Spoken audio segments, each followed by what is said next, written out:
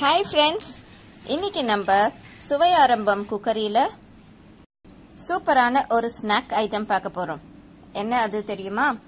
பன்னீர் finger fry பார்க்கவே அட்ராக்டிவாக இருக்கிற இந்த பன்னீர் ஃப்ரை ஸ்நாக் கொஞ்ச நேரத்தில் செஞ்சிடலாம்.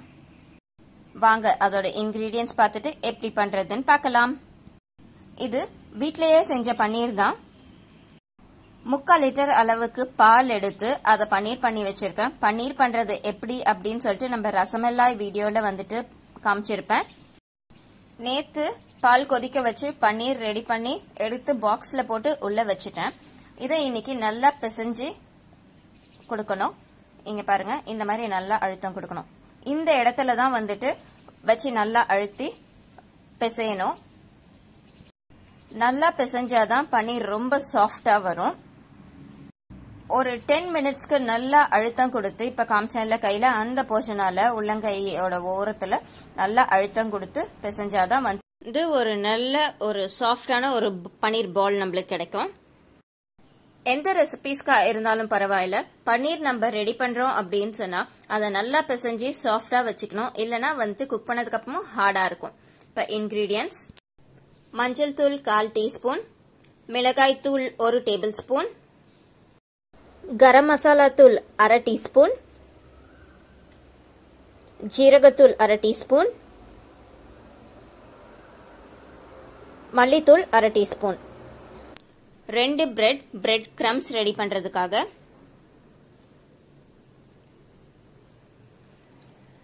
ஒரு டீஸ்பூன் அளவுக்கு கார்ன்ஃப்ளார்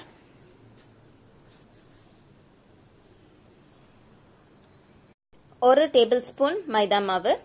ஆல் பர்பஸ் ஃப்ளார் ஒரு ஸ்பூன் இஞ்சி பூண்டு பேஸ்ட் தேவையான அளவு உப்பு. அடுத்து சொல்ல போகிற இன்க்ரீடியண்ட் ஆப்ஷனல் இது தேவைன்னா யூஸ் பண்ணிக்கலாம் இல்லைனா வேண்டாம். சின்ன பசங்க இருந்தால் இந்த இன்க்ரீடியண்ட்டை வந்துட்டு அவாய்ட் பண்ணிக்கலாம். என்னென்னா பச்சை மிளகாய். ரெண்டு எடுத்திருக்கேன். இப்போ இந்த பன்னீர் பாலில் கொஞ்சமாக சால்ட் அண்ட் கொஞ்சமாக வந்துட்டு சில்லி பவுடர் ஆட் பண்ணி பிசைஞ்சு எடுக்க போகிறோம் சில்லி பீசஸையும் வந்துட்டு கட் பண்ணி பொடி பொடியாக இது கூட சேர்த்துக்க போகிறோம் சில்லி பவுடர் ஒரு ரெண்டு மூணு சிட்டிகை அளவுக்கு தான் சும்மா அப்படியே தூவி விட்டுருக்கேன். இதை மூணு இன்க்ரீடியண்ட்டையும் ஆட் பண்ணதுக்கப்புறமா அதாவது சால்ட் பச்சை மிளகாய் சில்லி பவுடர் இதெல்லாம் ஆட் பண்ணதுக்கப்புறமா பிசைஞ்சிடலாம். பிசைஞ்சு ஒரு பால் ஆக்கி வச்சிடலாம். கொஞ்ச நேரம் இருக்கட்டும்.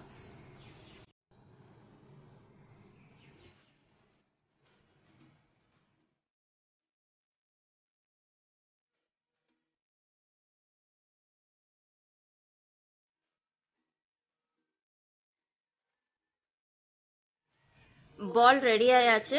இது எந்த அளவுக்கு சாஃப்டாக இருக்குன்னு பாருங்களேன். ரொம்ப சாஃப்டாக இருக்கு பாருங்க. பார்க்கும் போதே அது தெரியும் ஆனால் அழுத்தம் கொடுக்கறது. இப்போ பன்னீரை டிப் பண்ண வேண்டிய மசாலாஸ் ரெடி பண்ணிடலாம். ஒரு ஸ்பூன் அளவுக்கு மிளகாய் தூள் போட்டுட்டேன். கொஞ்சமாக மஞ்சள் தூள் கரம் மசாலா தேவையான அளவு சால்ட்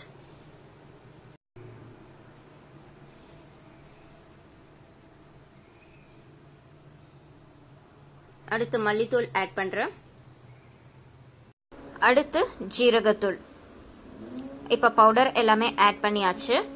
அடுத்து இஞ்சி பூண்டு பேஸ்ட் வச்சுருந்தோம்ல அதையும் இதில் ஆட் பண்ணி நல்லா மிக்ஸ் பண்ணிக்கலாம்.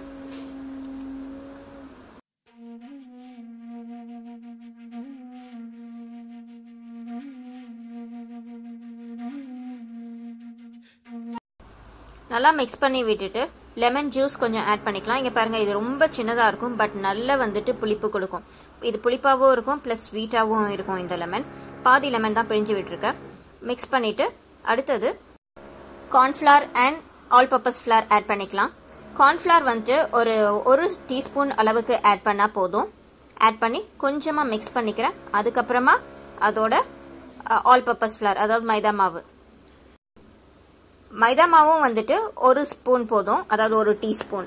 இந்த அளவுக்கு போதும். தண்ணி சேர்த்து கொஞ்சமாக மிக்ஸ் பண்ணிக்கலாம். தண்ணி கொஞ்சம் கொஞ்சமாக சேர்த்து நம்ம இதை மிக்ஸ் பண்ணணும். ரொம்ப தண்ணி ஆயிடுச்சுன்னா பன்னீரில் ஒட்டவே ஒட்டாது மசாலா. அதனால் பார்த்து கொஞ்சம் கொஞ்சமாக தண்ணி ஆட் பண்ணி மிக்ஸ் பண்ணிக்கலாம் இதில். இந்த பேட்டர் பார்த்தீங்கன்னா பாருங்கள் இந்த அளவுக்கு வந்தால் போதும். ரொம்ப திக்காகவும் இருக்கக்கூடாது. அதே நேரத்தில் ரொம்ப தண்ணியாகவும் இருக்கக்கூடாது. இது ரெடி ஆயிடுச்சு. அப்படியே இருக்கட்டும். பன்னீர் எடுத்து நம்ம ஷேப் பண்ணி ஃபிங்கர்ஸ் ரெடி பண்ணிடலாம். இந்த பன்னீர் பாலை ரெண்டு ஹாஃபாக பிரிச்சுட்டேன். ஒரு ஹாஃபில் தான் இப்போ செஞ்சு காமிக்க போகிறேன் அதுலேருந்து ஒரு சின்ன பீஸ் எடுத்து உள்ளங்கையில் வச்சு சின்ன பாலாக செய்யணும். சின்ன பால் செஞ்சதுக்கப்புறமா அதை நம்ம ஃபிங்கர் மாதிரி ஃபிங்கர் ஷேப்க்கு வந்து ரெடி பண்ணணும்.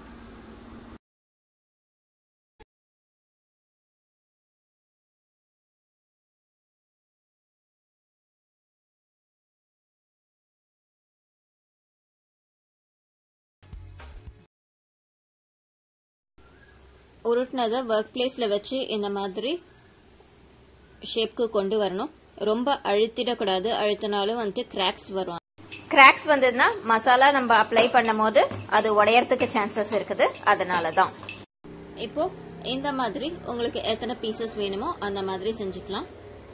இது எல்லாமே லென்த்தியாக செஞ்சிருக்கல ஷார்ட்டாகவும் செஞ்சுருக்கேன். இங்கே பாருங்க. இப்போ மசாலால எப்படி டிப் பண்ணலான்னு பார்க்கலாம். பன்னீர் ஃபிங்கர் எடுத்து மசாலாவில் போட்டு ஒரு ரோல் பண்ணுறோம் ரெண்டு கையும் யூஸ் பண்ணிக்கணும். அதை அப்படியே எடுத்து பிரெட்டை க்ரம்ஸ் ஆக்கி வச்சுருக்கேன்.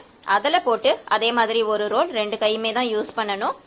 அவ்வளோதான் ரெடி ஆயிடுச்சு. எடுத்து வச்சிடலாம். ரொம்ப போட்டு புரட்டக்கூடாது. அது பிரேக் ஆகிடும் அதனால் இங்கே பாருங்கள் சாஃப்டாக பண்ணிவிட்டு இந்த கார்னர்ஸ்லேயும் வந்துட்டு அப் அண்ட் டவுன் அதை டச் பண்ணிவிட்டு பிரெட் க்ரம்ஸ் எல்லாம்